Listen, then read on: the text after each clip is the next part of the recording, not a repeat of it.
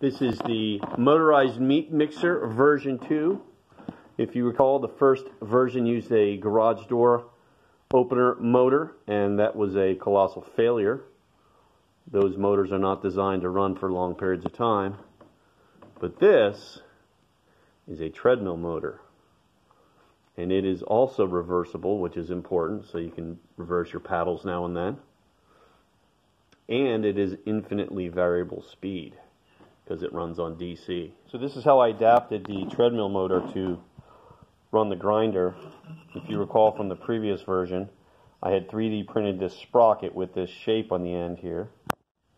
And that interfaces with the, the paddles on the meat mixer. So what I did here was I cut a piece of hardwood and epoxied it inside this pulley and this is the pulley that is attached to the drive roller on the treadmill. And I removed the pulley from the treadmill and cut this piece of hardwood in the middle. Then I 3D printed a similar shape, same shape, did a little different base. I got some screw mounting holes there.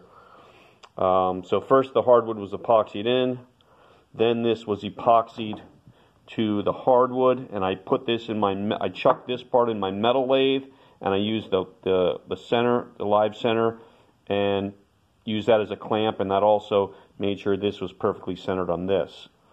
And I left it there overnight while the epoxy dried.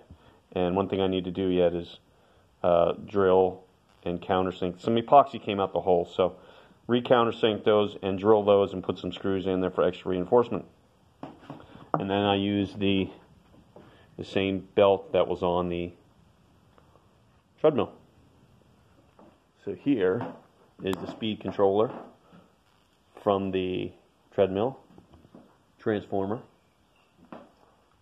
This is the sliding potentiometer speed control. And this is the display panel from the treadmill. This has a reset button. I know it's upside down.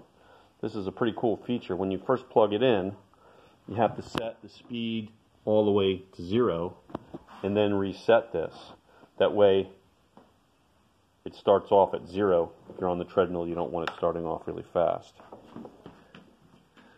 Treadmill uh, potentiometer is at zero. I'll press reset. Of course, I'm being careful not to touch anything.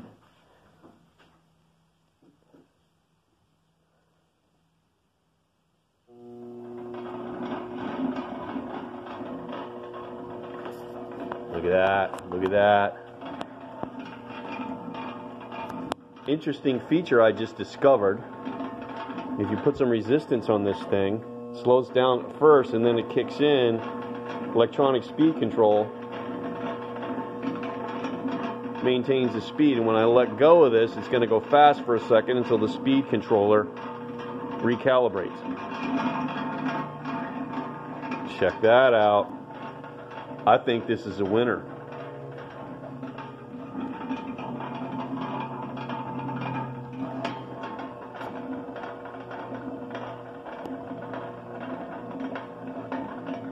Oh, yeah.